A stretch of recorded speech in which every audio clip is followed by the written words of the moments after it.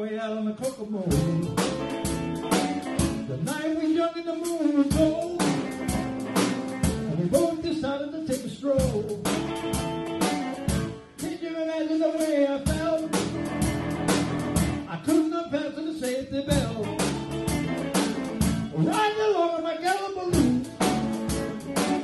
So trying to get hooked off